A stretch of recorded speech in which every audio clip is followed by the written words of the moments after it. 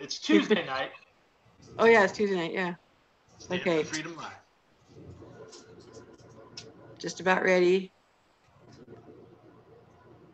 It's taking its time. Here we go. Hey, you're live, guys. We're live. Ben Edtl from Free Oregon. I'm David Darnell from Restore Oregon Now. Welcome, everyone. Welcome to another episode of What the Hell is Wrong with Oregon. Uh, I, I think we know the answer to that question. Uh, the answer seems to be government overreach. Can you say government overreach with us tonight? Come on, kids, say government overreach. Overreach, Government yes. overreach. That's when the government overreaches its constitutional boundaries and it starts controlling our lives illegally. That's called government overreach. We seem to be very, very, very far over that constitutional line now, Ben. Yeah, we were just talking about that before we went live. I, I asked a very pointed question to Dave Darnell, which I am not going to repeat on Facebook Live because we'll just be. Uh, but he said, you know, by that standard, we would have started, you know, doing what I suggested or thought is it time yet uh, back in 1913. We are Yeah. so far past what the what the Patriots in 1776 endured uh, before they took their country back. We are way past that at this point. When Kate Brown comes out and says, "Okay, everybody, kids, we're going to have to wear masks outside," even though all the science says that you cannot spread COVID-19 outside, that masks don't even stop COVID-19 from from spreading. It even says it on most of the boxes, which are made in China. And most of us in Oregon even got the poke. So what are we worried about here? You know, it's absolute political theater garbage. They just want to see how much we will take. But I'll tell you what, if we can keep taking this from Kate Brown in the state of Oregon, we're going to end up like Australia. You guys ready for that? Yeah. Yeah, well, yeah, that's exactly where we're going to end up. The only thing that stands between us and them, uh, or between us and looking like Australia, is Australia thought it, uh, thought well of giving up their arms uh, some years ago. Uh, so, you know, if you ever wanted, you know, if you ever think, you know, if you ever get an offer from the government to buy back a gun like you bought it from the government in the first place, uh, or to turn into our, your arms, uh, you know, to make the world a safer place, just look at Australia uh, I don't know. You know, I haven't been following the news out of there, but every once in a while I catch something. Uh, I catch a live stream of uh, cops beating people who are protesting, Mm-hmm. uh, and that's the way it is.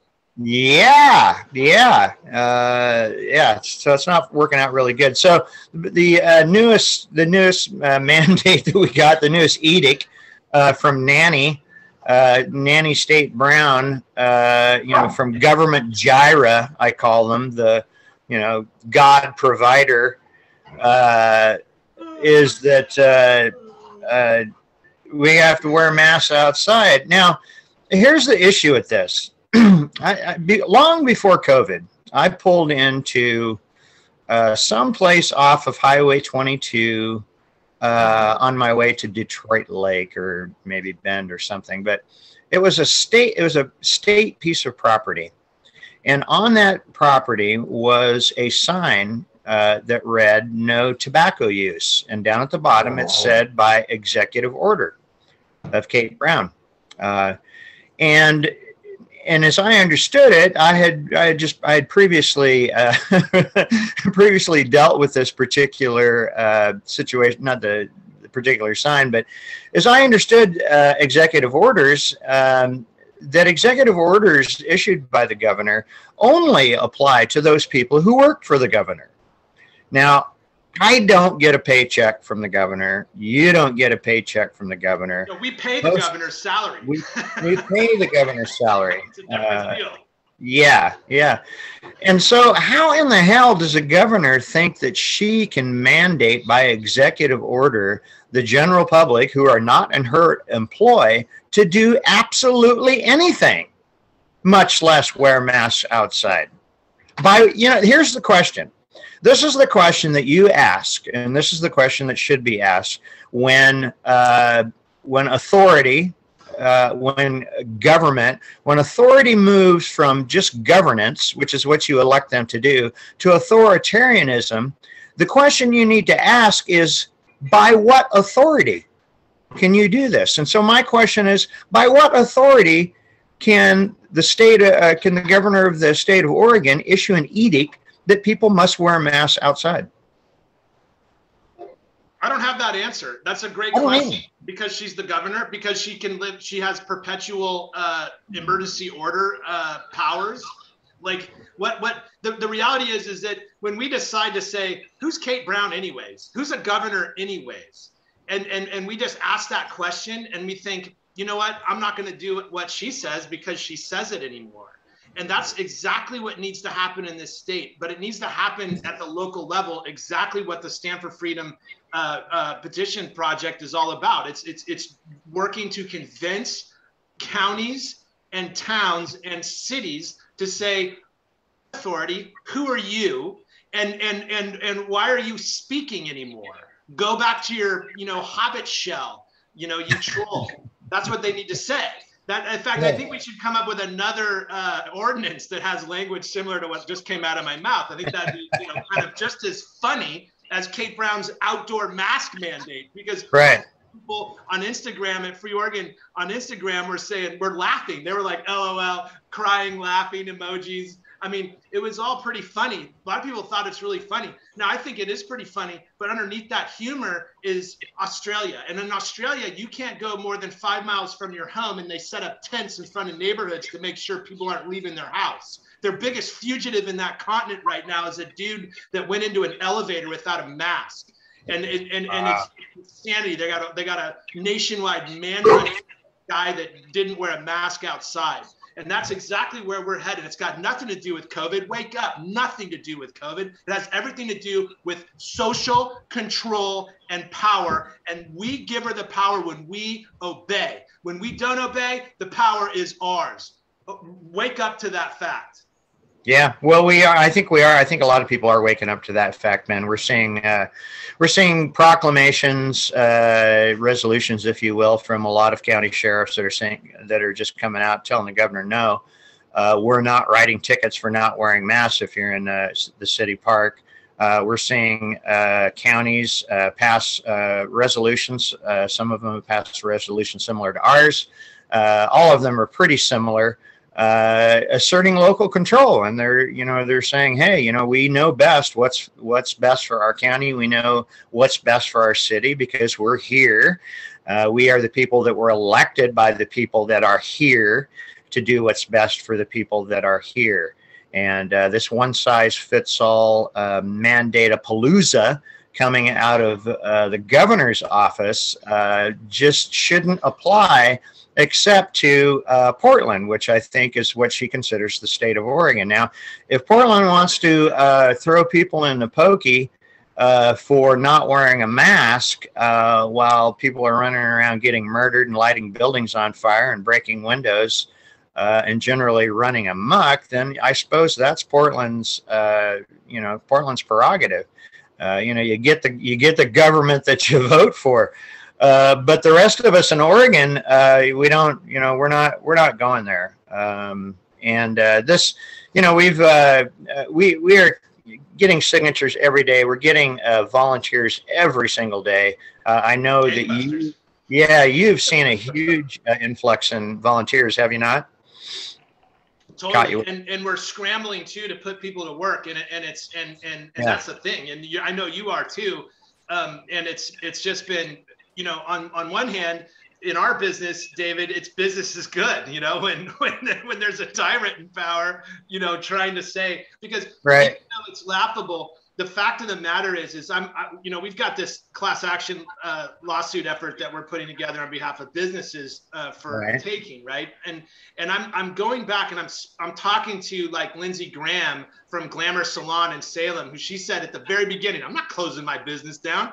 Well, Kate Brown made an example out of her, sent the police in to shut her down and take her away.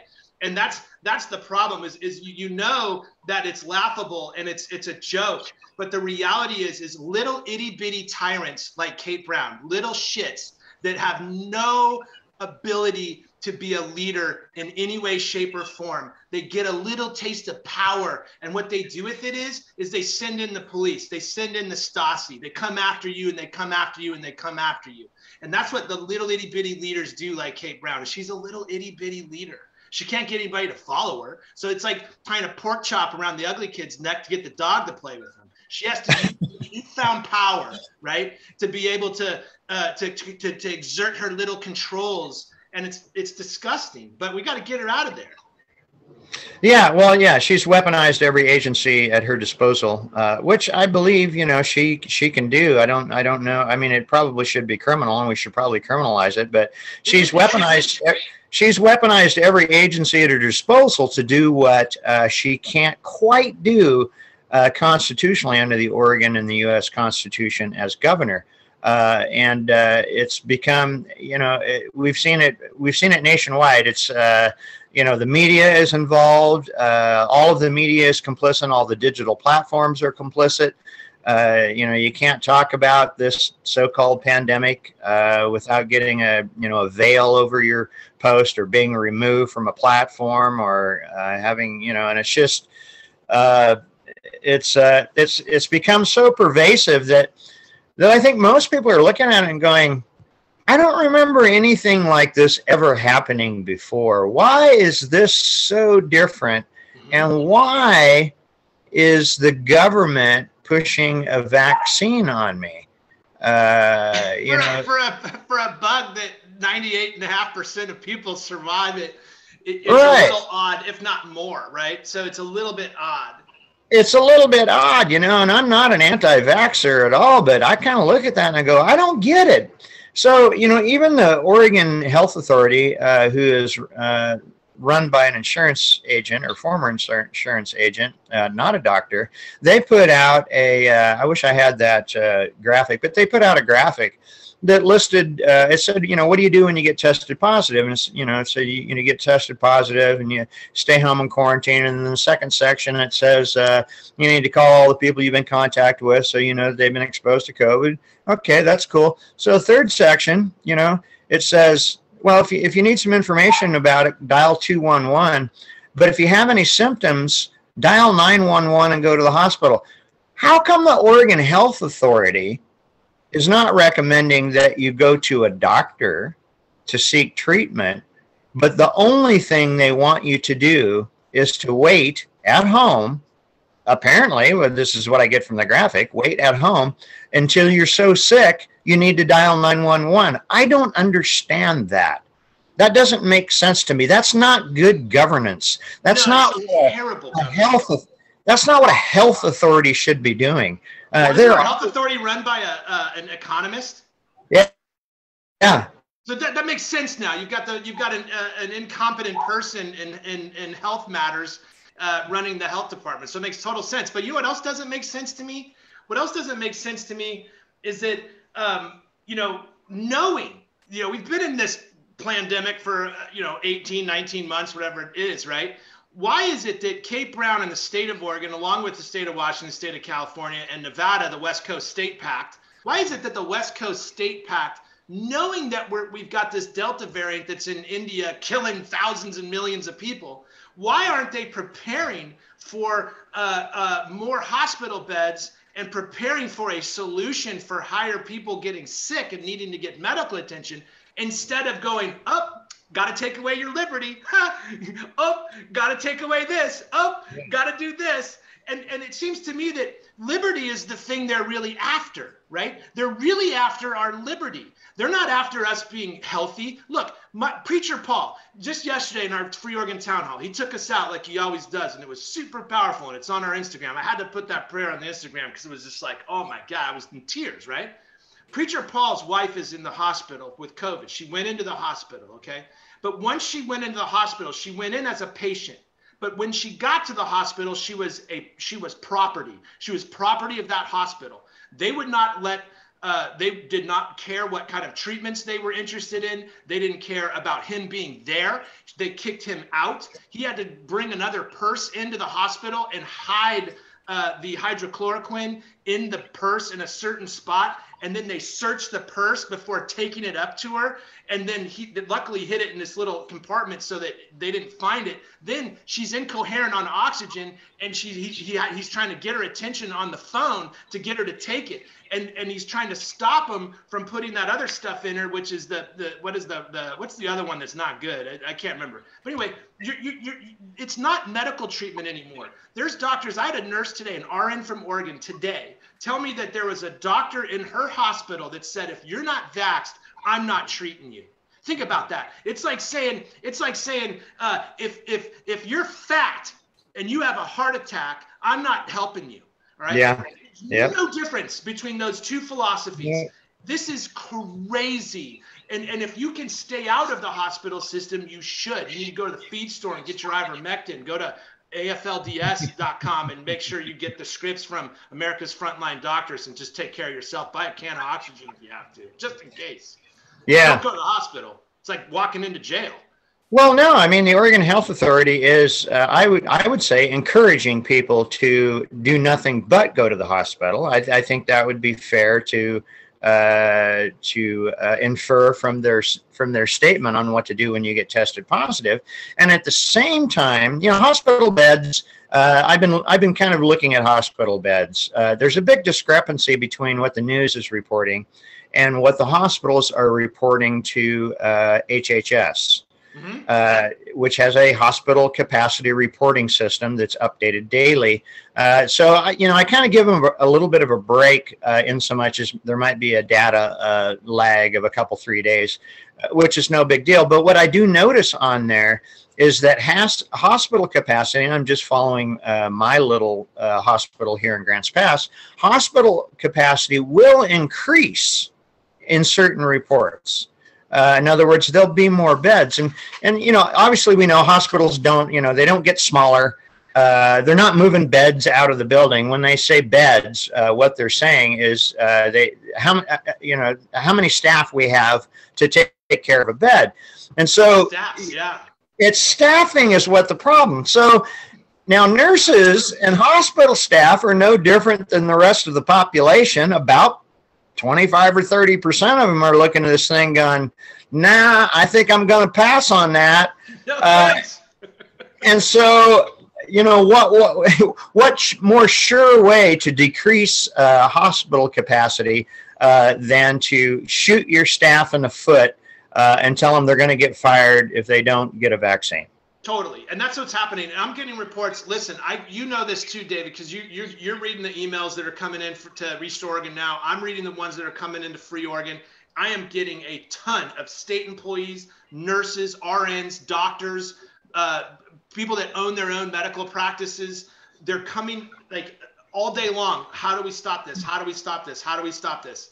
And and they're telling me the reports are that there's no staff People are quitting. They're not trying to do this anymore. They don't want to get the vaccine. They're stepping back and they can't keep employees. And it's just this mess. But what the government's doing wrong, again, is that this is all about taking away our liberty.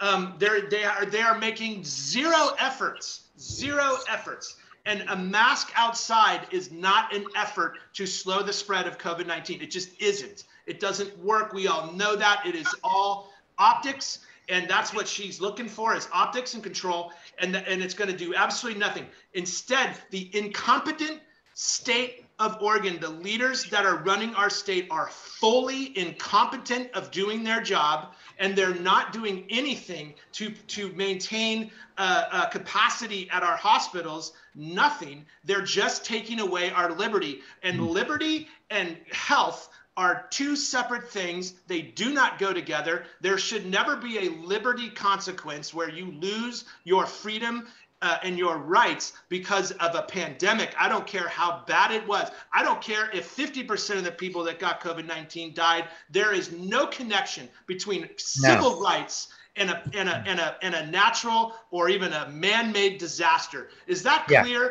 That has to be so clear in everybody's mind that our civil rights do not end under any circumstances. Yeah, yeah, you don't. The Constitution is not void, uh, and your natural rights that are protected by the Constitution, not given by the Constitution, but protected by the Constitution, are not voided during any kind of emergency. You know, the fact is, is this really isn't a question of whether to vax or whether to not vax. It's not a question of whether to mask or not mask. Uh, it's you know the foundational issue here is uh, the retention of everyone's individual choice to make their own health decisions to make the decisions that are best for them. And i just got some breaking news in here. Uh, this is from my oldest daughter who is a nurse. She said nursing licenses are not being processed with a stated time and applicants are told not to call the nursing board in the state of oregon. What? Yeah they're not processing nurse applications? That's correct. Well, they might be, but they won't tell us. They won't, well, uh, they, they said they're not being processed with a stated time. In other words, they won't tell you when they can be, when, uh, you know, you can get your license processed. Okay, so what you what, what we're talking about here is is now that's absolutely proven that they're not they're doing the opposite. They're not trying to increase capacity and They are not trying to increase capacity. sick. They're trying to take away our liberty. So if they can reduce the, the capacity, just like last year with the whole bed the whole uh, bed gate, you know, with Kate Brown and the hospital bed gate where they were removing beds. Th- th- This is this is a, an attack on our liberty. I, if I am, if there's a 2021 Paul Revere moment, it is happening now. Th- They are coming. They are coming for us, and we have to wake up, and we have to stand up, and we have to fight back in every means necessary. And the first means are they have to be legal. We have to use the legal process. But I'm telling you right now, that they're they're not stopping here. They're not stopping here. This Well, it begs the question, Ben. Uh, so if, uh, if, and they are, if, uh, you know, the state executive branch, the governor's office, uh, is uh, shooting themselves in the foot by reducing staffing, by not allowing non-vaccinated uh, staff to work, by terminating them, if they're not processing uh, nursing licenses, uh, which should be doing, uh, they should be running 24/7 uh, on that, uh, whatever overtime. So if they're doing that, and they are doing that, and if the hospitals fill up, and they will because staff will decrease, and no one is allowed to go to the hospital, this is a uh, you know this is a situation that has been created by government. Government is famous for creating situations and then bringing a solution. So tell me, what is going to be the solution to this particular problem the government has created? Scary thought. I don't know. lockdowns, let the unvaccinated die. Um, I don't know. The the the the, but, but, but that's I mean, like we, we It's the what's it's the what's the next step question. I mean, what what happens after that? what happens. It's up to us. Yeah. Well, it is up to us. It's up to the people what happens next. Yeah. You know, we last night we had people on from that were involved in the in the Freedom Rally in Portland over the weekend, where Ted Wheeler said, "Well, choose love. We're just not going to intervene." And it was skirmishing through the streets of Portland, right? And, Right. and you know, I think probably everybody that's watching this right now has probably seen the videos of the the IEDs being thrown, the cars being driven into the Patriot Rally, um, and and then and the response that occurred. Um, and and we're, we're literally living in a situation where the government has successfully pitted ourselves against each other. They've divided and weakened us. They've they've smoke and mirrors and corruption through smoke and mirrors and corruption. They've they've manufactured a a, a, crisis where you know there's a thousand people in the hospital. Well, Business Insider, which is a national publication and a far left one at that, just earlier last week did a report that 60% of Oregon's hospital beds are being used by non-COVID patients. Right. So so there there's and then meanwhile, we're not going to process any more nursing board applications, meaning meaning that people who are ready to become RNs are are not going to be able to become an RN because the state isn't going to process them. They're ready. They got their they got their they got their um uh their their clinicals done and they're ready to get their their license and they're not Yeah. that's insane. Yeah, I mean, wouldn't you be wouldn't you be working overtime to do that? Now, listen, this is from the uh, HHS, Health and Human Services Data Hub. this is my little hospital, right? Uh, you can you can see it right there. Okay, this was from yesterday. Uh, 77% of ICU beds uh, in 64 hospitals reporting. Oh, this is actually Hubbard, or not Hubbard, but Oregon. This is Oregon total. 77% of ICU beds in 64 hospitals reporting are are full. 26.44% of ICU beds in use are for COVID. 26%. That's saying 26%? 26%. These are the numbers. You can't even trust. reported. You can't even trust uh, uh, Business Insider. They're such. They're just. They're just liars. 64. That's saying 24%. 26. That's yeah. data. Yep. Yeah. So I don't know. I mean, I, you know, I, through this whole thing, you know, I've just been my, uh, well, like you said, and like I just said, uh, you know, through this whole thing, my, uh, my stance has been, my position has been uh, that it doesn't matter uh, what the emergency is, that, uh, you know, the Constitution is not voided, whether it be the Oregon or the U.S. Constitution. Uh, and that seems to be the only response that this particular governor and state government has. And we know, you know, from other governors in other states that you can have a different response. You can be Kristi Noem in, in, in, in North or South Dakota Yeah. and say, I trust. It's it's not even up to me to trust or not trust people. Uh, it's up to me to stay out of the way of people's personal medical decisions. Uh, and I think that's what we want here in Oregon is we want a government uh, that is out of our business, uh, that leaves us alone, that leaves us to make our own choices. And Uh, does whatever the the- job that we hire them to do and does it effectively on our behalf. Right now, Yeah. the state of Oregon is doing the job, not that we're paying them to do, but they're doing the job of coming after us and, and, and making sure that when one of us goes to the hospital, we're now government property, making sure that our kids go to school and they become government property, making sure that they take away our businesses and our private property and our rights all along. They're coming after us. Our government is coming after us in Oregon. They're doing it in Washington. They're doing it in California, except the Californians have that recall. And I mean, we're talking like two weeks. Uh, and maybe Larry Elder is going to be the next governor of California. I Man, think that'd be it's- something. That. And I think that that's that's going to be something. That's going to be something because it's going to break up the West Coast State Pact. It will. It'll break up the West Coast mafia, uh, and it'll infect, uh, if you will, and that's I'm sure that's the way the liberals would say it. Uh, Democrats would say it. It will infect uh, the rest of the West Coast. So, hey, uh, thanks, Ben. I'm infected. Yeah, we need to infect. Well, we need. Well, yeah, we need to infect the entire West West Coast with liberty and freedom. Yeah. Uh, you know, I mean, that's, I mean, that's, it's born in every, you know, it's held in deeply in everyone's soul. Uh, you know, we all yearn We're to be, Americans. we are, We're We are. free. we are. think they're going to be able to take that away from us this quick? Just in 18 months, they're going to boil our boil us like frogs? I think so. I think that's what they think. That's what they think. Yeah. They think that. I Yeah. think so. So, you know, join us, uh, freeoregon.us, freeoregon.us. You can find Free Oregon uh, everywhere Instagram, Facebook, uh, on all the platforms. I'm sure you can find us. Stop the Abuse, uh, Restore Oregon Now, Facebook. You can find us on the web, restoreoregonnow.org, restoreoregonnow.org. Join up with us. Uh, Join you will up. find out, you will find that you are not alone uh, everywhere you go. Uh, we'll be going there with you. We'll be going to county commission meetings. We'll be going to school board meetings, and we'll be going to city council meetings. And we will be applying constant pressure, and we will be doing that pressure, applying that pressure constantly. There Uh, is nothing more important right now in this moment.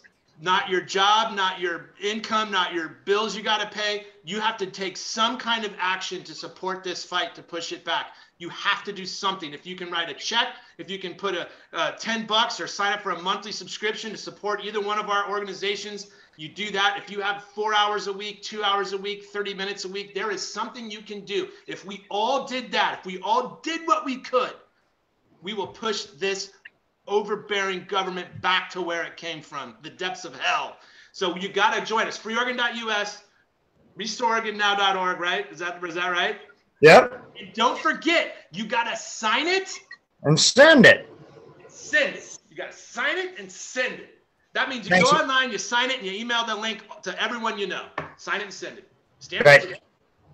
Thanks, everyone. We'll talk to you soon. Stay up.